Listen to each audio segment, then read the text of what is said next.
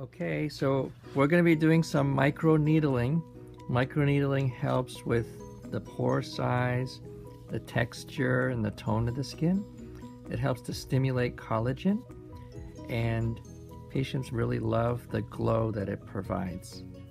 So currently we're applying the serum to the skin. It helps the microneedling pen to glide over the skin. So here we go. Okay, so we're gonna